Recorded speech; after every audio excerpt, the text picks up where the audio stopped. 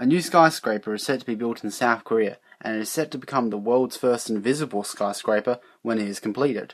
Called the Infinity Tower, at 450 meters tall, it will be 150 floors tall and capable of disappearing when the controllers feel like doing so. The architect behind the project, Charles Wee, says that he doesn't want to have a goal of building a new tall skyscraper, calling this approach overused and stupid. But instead, he aimed with the project to do something different. How it works is through cameras. The tower would have up to 18 cameras situated around it to give a full 360 view of its surroundings. Using the information given from the cameras, it would then be able to cloak itself using giant LED panels placed all over the tower. Aside from being invisible, it will also be able to function as a gigantic news broadcasting panel, if need be.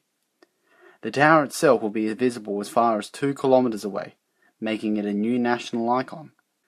One of the first things that may come to many of your minds is that this tower may be a risk to planes and birds.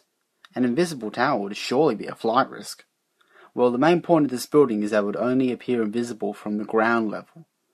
From the sky, it would appear just like any other skyscraper. But there is an even more important question. Why would anyone want to build a 450 meter tall skyscraper that's completely invisible? It's a simple answer, really. Such a tower would be able to generate a lot of tourism and money to Seoul. With construction expected to be completed by 2018 and groundbreaking expected to commence next year, the world's first invisible skyscraper may become a new world icon. Do you think it's a good idea?